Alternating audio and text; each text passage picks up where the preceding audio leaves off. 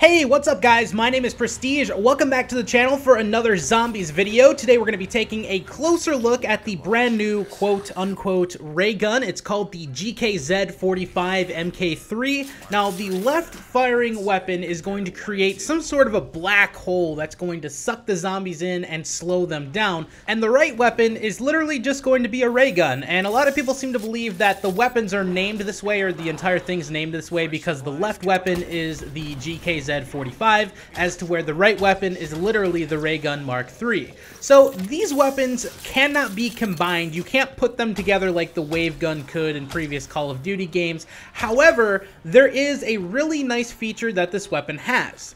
If you, for some reason, shoot down one of the black holes and then follow up with a ray gun shot, you'll actually create a more powerful version of that black hole. So not only will you slow the zombies down, but you'll also be able to disintegrate them completely, which is a really nice thing to have in tight situations. And this is the perfect weapon to go up against the Russian Mangler. The Russian Mangler is, of course, that giant robot zombie that actually has a sickle on his hand, and you can just take them out really quick with this thing. One shot, and I was doing it on like round 24. Didn't have any issues whatsoever, so it's a very valuable weapon to have within your armory. This is actually one of those weapons and one of those maps that I would suggest having Mule Kick for, specifically for taking out the Russian Manglers.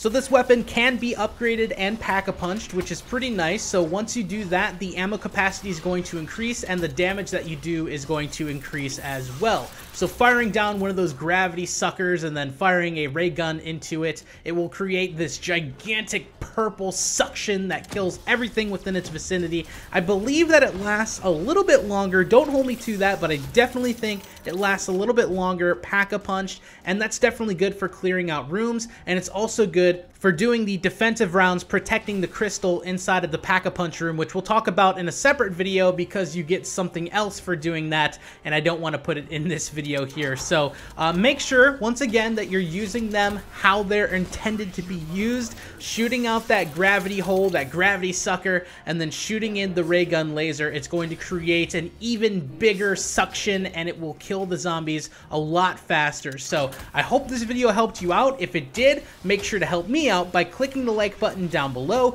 If you want to see more videos like this in the future, make sure to subscribe. And until next time, guys, I will see ya. Peace.